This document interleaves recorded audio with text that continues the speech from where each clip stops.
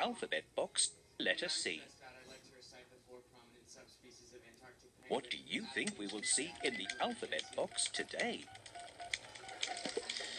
C is for. That is right. C is for crab. Did you know they walk sideways?